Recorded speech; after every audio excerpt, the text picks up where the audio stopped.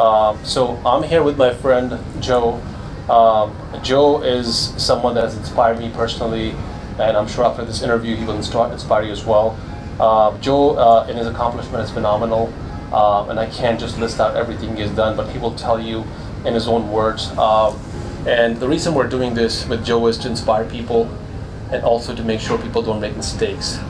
Uh, because a lot of us, especially like myself, uh, I've been an entrepreneur for some time. I've been an investor for some time. And what I've learned is that you can always learn something from someone who's far ahead of you.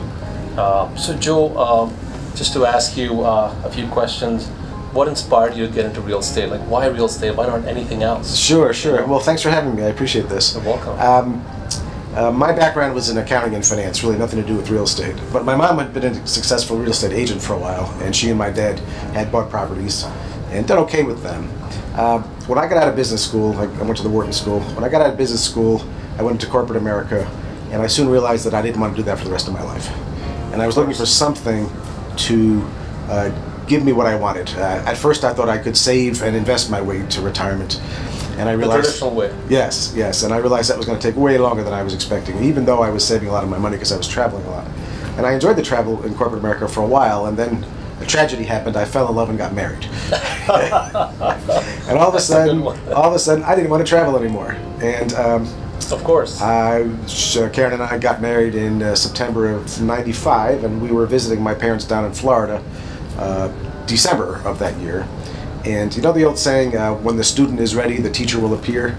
Well, I'm watching TV, and they say the commercial was, you know, come to the local Holiday Inn, two-hour presentation about learn about all about investing in real estate. So, what the hell, I'll go. So I went, and I went to the thing, and I didn't understand half of what the guy was talking about, but it was free, and I got all inspired and got all psyched up. And the next thing I know, I was paying six thousand dollars for a five-day boot camp. oh my goodness. You know, the next Wow. week, the next in the next couple of weeks, I went off to Dallas, went to it, and I came up just fired up. And I said, "This is what I want to do. Wow. Um, this is what I want to do." I didn't understand all of it. I didn't understand most of it, but I decided right then and there that's what I wanted to do. And I actually decided that it was time for us to move. And so uh, I was living in New Jersey at the time. Um, Nothing against the Northeast, but uh, the Northeast is best if you need to have a high-paying job. And if I was going to do real estate full time, I didn't need a high-paying job, and I also didn't need the snow and all that stuff. So I did a search. Eventually, uh, decided on the Virginia Beach area, and um, started buying properties later on in '96. And in October '97, I quit corporate America for good. We moved down there, and I've been Wow. I've been there doing this full time ever since.